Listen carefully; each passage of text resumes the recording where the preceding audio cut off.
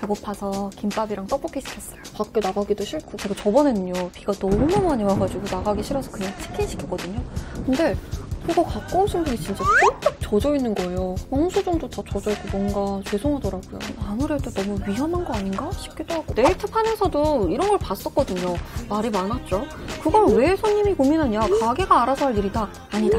인간적으로는 못하겠다. 개인이 생각해야 할 일일까요? 배민이나 요기요 같은 배달 서비스 엄청 쓰잖아요. 이것도 나온 지 벌써 몇 년이야? 몇 년 됐죠?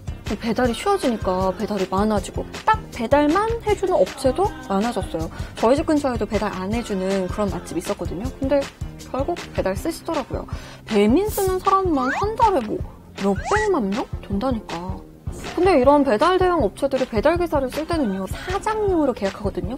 건당으로 계산하는 거죠. 배달 서비스는 중간에서 연결만 하고 음식점은 예전처럼 배달 직원을 채용 안 해도 되니까 언뜻 들으면 편리해 보이지만 이 과정에서 배달 기사분들이 일하는 환경, 뭐 안전 이런 건 자기가 알아서 해야 하는 거예요. 다치면 개인 책임이지만 배달을 많이 할수록 돈을 많이 버니까 무리해서라도 빨리빨리 하려고 하시거든요 이렇게 서비스의 가장 아래쪽에서 일하는 걸 플랫폼 노동이라고 부릅니다.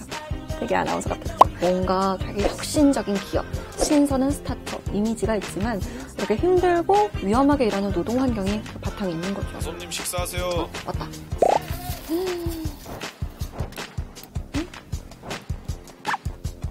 음. 제가 먹고 있긴 하지만 이 문제도 심각해요. 일회용품요. 빨대랑 일회용품 컵이 환경을 오염시킨다고 요즘 난리잖아요. 이거 이거 이거 배달 일회용품 진짜 많이 쓰잖아요. 이것도 이것도 이것도 이것도 다 포장.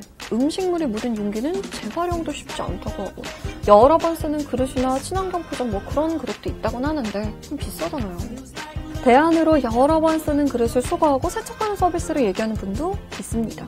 계속 성장하는 배달 서비스를 생각하면 아무리 어려워도 내버려 두면 안 되겠죠. 이거는 제가 잘 씻어서 내놓을게요.